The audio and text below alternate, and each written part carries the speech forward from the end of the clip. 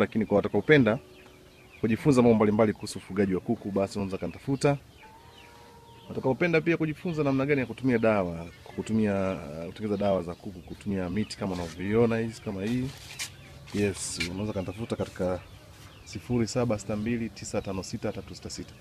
Kuna baadhi ya miti ambayo kitaalamu na wataalamu mbalimbali wameweza kuthibitisha na kuweza kuona kwamba ni dawa, tunaweza tukazitumia kwa ajili ya kuku na akawa unatumia vizuri tu na yakatibu magonjwa mbalimbali. Kwa hiyo pamoja na dawa hii ambayo nakuonesha. Hiyo unaona pembeni hapa tayari chaikata.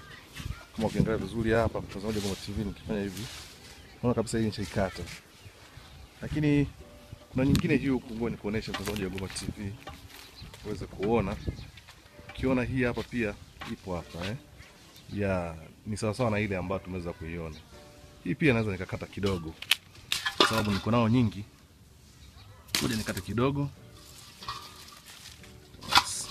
Haya, tunaoja kwa TV, ngoja turudi tena katika sehemu ambayo nilikuwa nataka nichukue hii kwa ambayo naiona. Kwa hiyo tunaweza tukatengeneza dawa zetu na tukaweza kuwapa kuku wetu wakaweza ku wakaweza kupona. Kitu cha kwanza, huu mti unaitwa mbalika au nyonyo nadhani. Kwa wanaofahamu huwa na matunda matunda kama namna hii, unaona matunda eh? Matunda namna hii, majani yake ni mapana, kwa mengine mapana kama ni shakuwa kubwa. Ukiangalia vizuri mtazamaji kwamba TV unaweza kaona eh? Ya, mti wake uko hivi. Kwa wanaofahamu miti watakuwa nafahamu hii. Huwa vinajiotea katika sehemu mbalimbali tofauti tofauti. Sasa huu mti pia ni ni dawa unaweza kutumia, lakini kwa wale ambao wasiojua huu mti wana, kuna baadhi ya watu ambao huwa wanatumia kwa matumizi tofauti tofauti, hasa kwa wale wenye matatizo ya ya, ya, ya maumivu maumivu, kwa mfano ya maumivu ya sehemu mbalimbali za mwili, huwa kuna namna ya kuweza kutengeneza si, eh, kuna namna unaweza kutengeneza na ukaweza ukatumika kama dawa ambayo ya kuchua, watu wanachua na maumivu yanaweza kutoka. Kwa hiyo ni mti ambao umekuwa ukifanya kazi mbalimbali. Hii ni kwa maumivu kwa upande wa binadamu nazungumzia. Kwa hiyo badala ya, ya miti hii kuweza kutupa, sisi tunatumia pia kama dawa.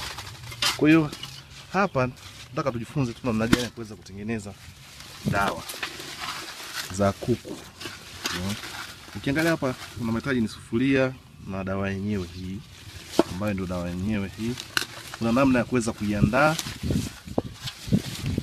kuna namna, namna ya kuweza kuiandaa mtazamaji wa Gomba TV. Baada ya kuweza kuiandaa tayari imeweza kukata, nimekata kidogo tu, hii nyingine imeweza kuacha ili kwa ajili ya kutumia siku nyingine, na hata kule nimeweza nimeweza kuacha kwa ajili ya kutumia siku nyingine. Nimechukua hii hapa chache, ni kwa ajili ya kuweza kuiandaa na kuweza kupatia kuku. Ni dawa inaweza katibu magonjwa mbalimbali na kuku wako kapona, sawa sawa na dawa zingine ambazo unazozitumia.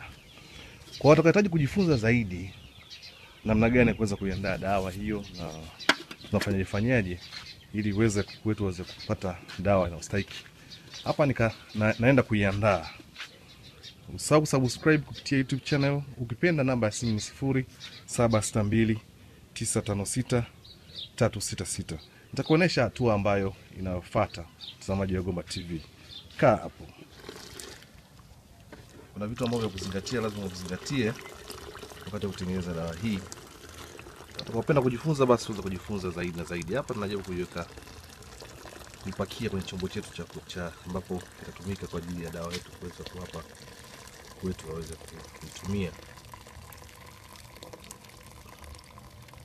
Sema tuko walikopenda namba ya simu sifuri saba sita mbili tisa tano sita tatu sita sita. Kwenye skrini hapo utaweza kuiona.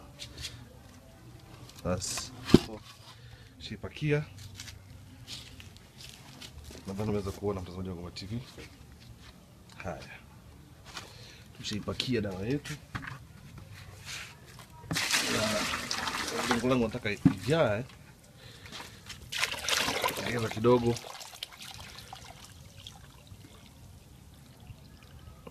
Haya, baada ya hapo hatua inafuata.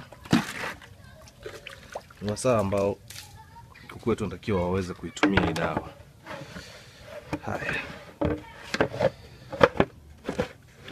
kuona habari yako mtazamaji wa Gomba TV, usisahau kusubscribe kupitia YouTube channel.